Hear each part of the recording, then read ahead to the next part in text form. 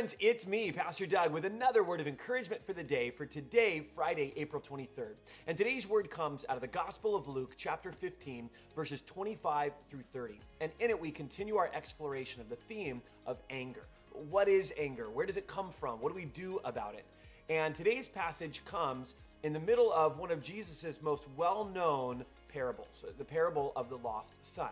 Chances are you probably are familiar, maybe quite familiar, with this parable. This is the story where there's uh, that Jesus tells, where there's one man and he has two sons, and the youngest son asks for his share of the inheritance early, which is sort of like saying to the dad, I wish you were dead and I just want your stuff. And so he takes his share of the inheritance and leaves.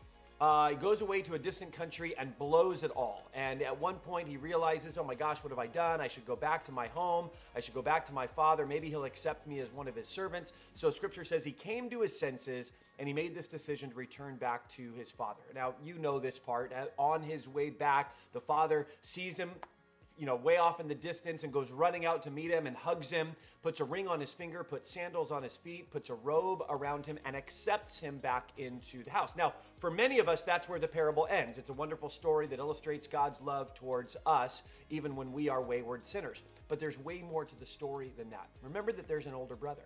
And today's passage is going to pick up on what happens with the older brother after the younger brother has come home. Let's pick it up here at verse 25.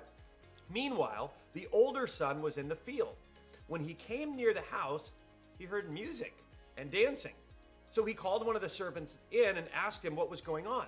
Well, your brother has come home, he replied, and your father has killed the fattened calf, be- be- and because he has him back safe and sound. Listen to this the older brother became angry. He, he refused to go in to the party. So the father went out and pleaded with him. But he answered his father, Look, all of these years I've been slaving for you. I've never disobeyed your orders, yet you never even gave me a young goat so I could celebrate with my friends. But when this son of yours, who has squandered your property with prostitutes, comes home, you kill the fattened calf for him. Let me stop there. What a sad, sad passage what happens here? Well, first we see this older brother get angry right?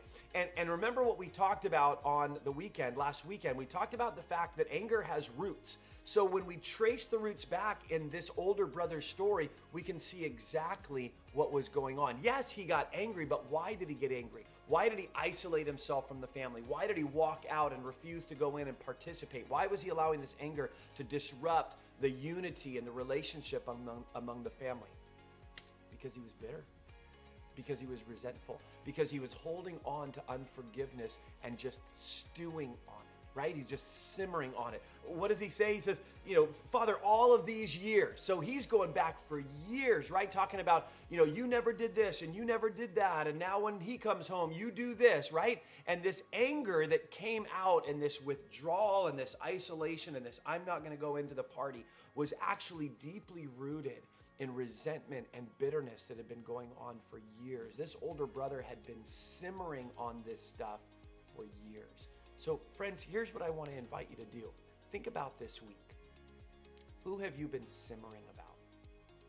Who is it in your life that you've been simmering about? You know, your husband all week long, or your wife all week long, your boyfriend, your girlfriend, your your your friend, those Democrats, those Republicans. Like, who, who is it that you've just been simmering about all week long?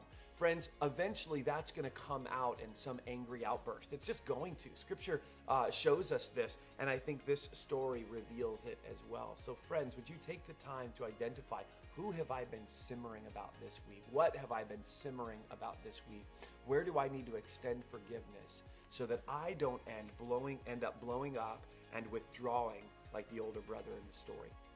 Friends, that's all I got for you today. I hope you have a great weekend. Please join us on Sunday morning, either online or in person. Can't wait to worship with you. And we'll pick these videos back up next Monday. See you then.